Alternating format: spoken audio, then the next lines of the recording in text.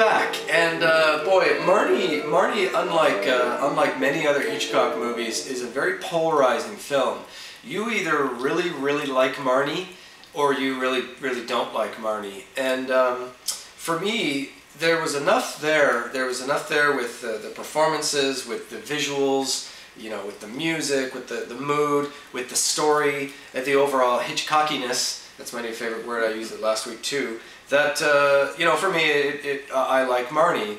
Overall, I, I stopped short of calling it a, a Hitchcock classic, and, and, certainly if I quickly list my, my favorite Hitchcock films, this ain't on it.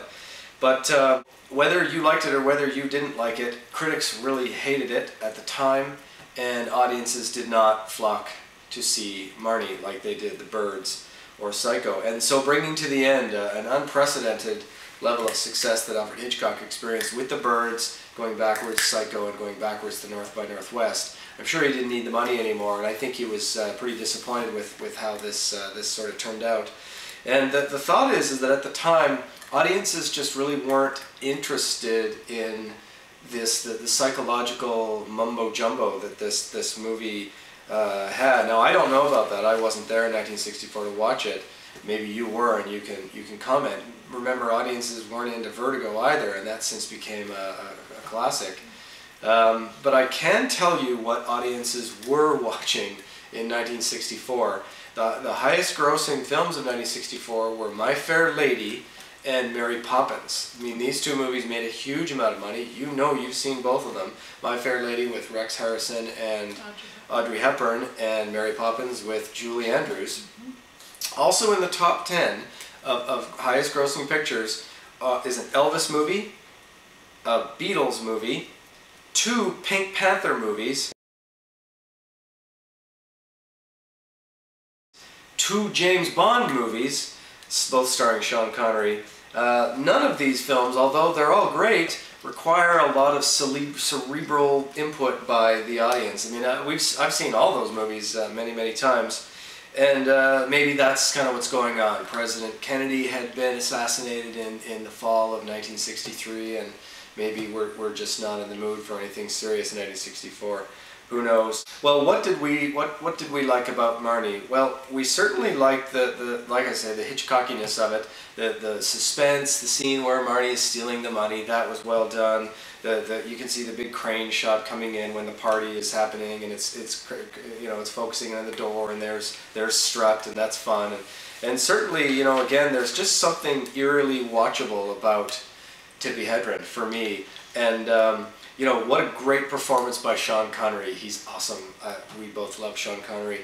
Uh, it's my favorite James Bond. It's her second favorite James Bond. Well, is it? Doesn't matter. We'll do a James Bond blog one of these years. Uh, great entrance by Sean Connery when he, he comes in and, and uh, he, he, the lines he gets to say. I'm, I'm what is it? I'm, I'm, fighting a powerful impulse to, to beat the hell out of you right now. Not exactly James Bond, but definitely Sean Connery. And uh, you know he's great because it, it's it's playing against type. He's not James Bond. He he gets a little uh, Scotty from Vertigo on us a little bit there with with trapping Marnie. By God, I'm going to keep you. And uh, he comes around in the end, and in the end, we both agree when the movie ends, we realize that he, he does love Marnie and he, he wants her to get better, he wants to be with her. So we love that, and, and you know another great entrance by Tippi Hedren. What a great way to make an entrance in a movie, washing away the, the, the, the sins in the in the in the sink and, and emerging as this beautiful blonde woman, uh, and a very difficult role. You know, you don't have to like Tippi Hedren, but I don't know a lot of actresses at the time that could have could have pulled this off. I don't know that, that could have pulled this off. So when Hitchcock was making it, he really felt that she was delivering an Academy Award performance in it and whether she was or not is anyone's guess. Um, this is the moment that they have their falling out, and uh, it's it's probably none of our business. But uh, you know, I, I think there's going to be a BBC show coming up uh, in, the, in the next few years, 2012, 2013, that is, is about Tippi Hedren and Hitchcock. But uh, she was great, and you know, it's it's just it's just something watchable about Tippi Hedren. So. Um, she doesn't work with Hitchcock again. We also saw Mariette Hartley in that, which is neat. I remember her from those Polaroid commercials she did with James Garner. She was also in an episode of Star Trek, original episode. Uh, that was Bruce Dern in uh, the, the sailor guy who, who the little little Marnie girl ends up uh, killing. That was quite a scene. And you'll see Bruce Dern again 12 years from now in Alfred Hitchcock's final movie, Family Plot. He stars in it.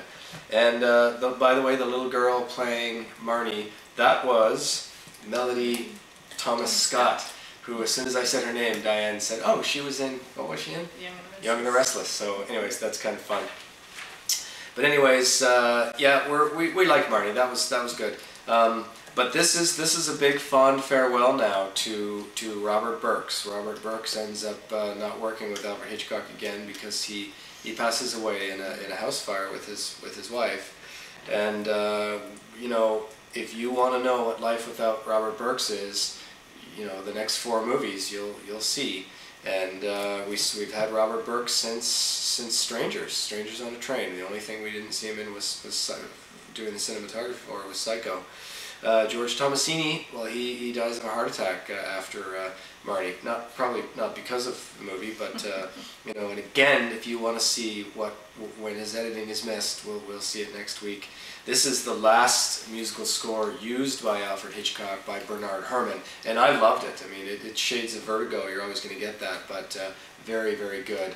And uh, they have a falling out during next week's movie, Torn Curtain and they never worked together. And, and, his music that he did write for Torn Curtain isn't used in Torn Curtain.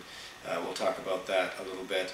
And um, yes, the last Hitchcock blonde. This is farewell to to that. In the next four movies, there really isn't a central character, a strong, icy, strong lead lead woman. So. Uh, very good. So we did see Brandy in this movie twice, and uh, you know, not a not a violent movie, not a lot of violence in this one, and uh, and there you go. So, good. We're, we're, we're ready to move on. Um, but we did want to talk about what, what did win Best Picture, and it is actually My Fair Lady, with when Rex Harrison wins Best Actor, not Sean Connery for Goldfinger. Uh, but uh, anyways, uh, that's that's a great movie. We remember watching the, the precursor of that, which is called Pygmalion, and uh, we mentioned it way back when when we were reviewing movies from that year if you liked My Fair Lady and it's a delight, Pygmalion is better. It's excellent. It's not a musical. It's, no, it isn't. And uh, I forgot. And it's it's really really good. It's the original of this. So uh, so good. And if you want to watch a great movie from 1964, Hard Day's Night, or Viva Las Vegas. I mean, really, it's a, or the two Pink Panther movies. So uh, so there really is uh, a lot to see. So uh, good. So that's it for us. You were gonna talk about the rape scene. Oh, I did. I did want to talk about that. The fact that uh, this movie was written by a woman is, is very interesting. In fact, uh, the, the woman who wrote Marnie, you can watch her on the, the DVD extras on this.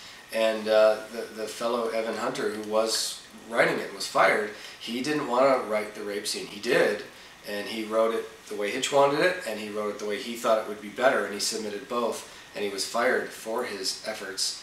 And uh, the, the woman who wrote it, Jay Preston, she Jay Preston, I forget already. Uh, she, uh, you know, she didn't have a single problem with it, and, and it's a very interesting perspective, um, you know, and it's it's intriguing in that regard. Uh, I, I, I think it would have been nice if Alfred Hitchcock could have done more movies with uh, with a woman writing it. It's it's always going to be different.